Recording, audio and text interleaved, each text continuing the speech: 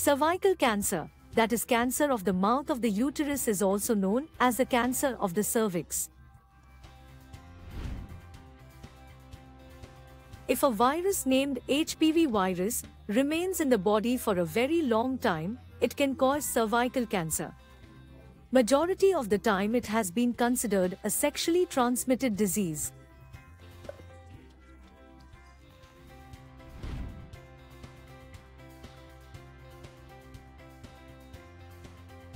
See a lot of times, if we talk about the beginning, then there may not be any symptoms. If someone has dirty discharge from the vaginal area, then this is one of the symptoms. At times, if there is abnormal bleeding between two menses, then this can also be a symptom.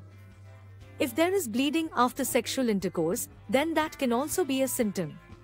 If menopause has happened and still there is bleeding or dirty discharge from the vagina, then these are a few symptoms. But, always keep in mind that sometimes there are no symptoms in the beginning. So any sexually active person can get this disease and if you smoke then the chances increase further.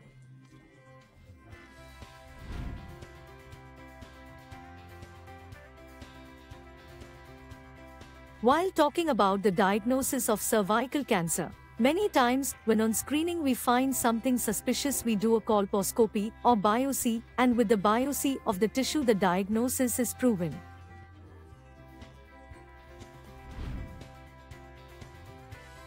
So, first of all, there should be prevention and such a situation should not arise where treatment is needed. But even if there is a need for treatment, there is no need to worry. Go to your doctor and get it treated. In the treatment, if the disease is caught at the initial stage, then surgery is its treatment and if the patient is young, there is also the option of fertility preservation. If the disease is caught late, it is in the advanced stage, then either radiation or chemotherapy becomes the treatment.